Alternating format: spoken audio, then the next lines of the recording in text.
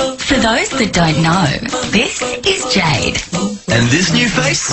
is Mal. Jade is sexy and single. Whereas Mal is kinda married. Mal Kennedy? Yeah. But you think that's a good idea? Yeah. We had fun. Lots of fun. Are you kidding me? He's married. Oh my god. You know, for a little street, there's a lot of drama.